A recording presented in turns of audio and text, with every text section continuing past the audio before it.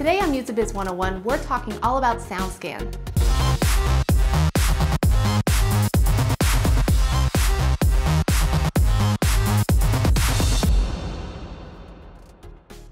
So you're probably wondering, what is SoundScan? SoundScan is a tracking system operated by Nielsen, a company that tracks sales of music and music video products throughout the United States and Canada. Any music product that carries a UPC or EAN barcode and ISRC code is eligible to be tracked by SoundScan.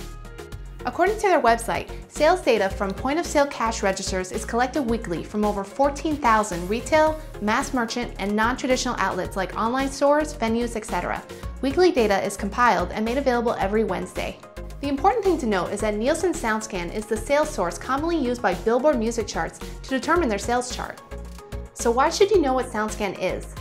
In order to have a chance at making the Billboard music charts, any release must be registered with SoundScan using the UPC number for the entire album and ISRC codes for the individual tracks.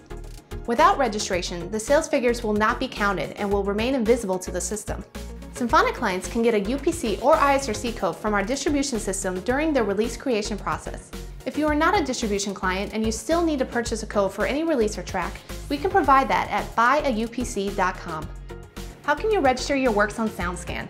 Well, Symphonic can register your album with SoundScan. You do not have to be a client of Symphonic in order to use this service.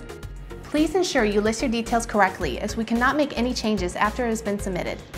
Only one title may be submitted per submission. Our team will review it and then submit it to SoundScan. For us to register your album, it is $10 per album submission and $2.99 per song.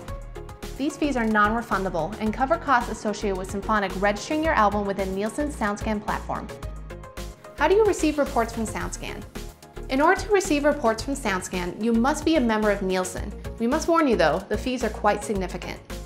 The main point is that registering your material with SoundScan gets you ready to be featured in the Billboard charts if you have a breakout hit.